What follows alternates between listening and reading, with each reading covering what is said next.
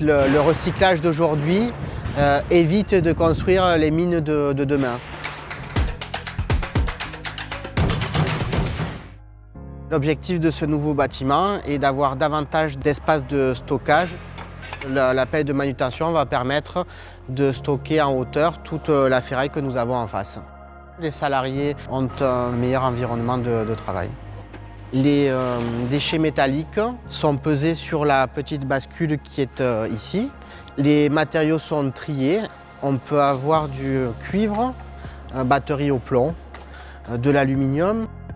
Une fois qu'un palox a atteint la quantité maximale, il est repesé et envoyé dans une usine de traitement, qui peuvent être soit des plateformes de recyclage plus grandes, soit des fonderies, soit des broyeurs. Nous allons embaucher une personne supplémentaire pour le développement du projet Protect Recup. Il s'agit en fait d'un tiroir géant et qui est dédié à la sécurisation du contenu d'ébène en déchetterie. Pour la construction du bâtiment industriel, nous avons été accompagnés par l'Europe et avons bénéficié d'une subvention de 145 000 euros sur un budget total de 515 000 euros. Ce que je souhaite pour la Catalane de récupération, c'est de se lancer dans peut-être la déconstruction automobile et nouvelles normes.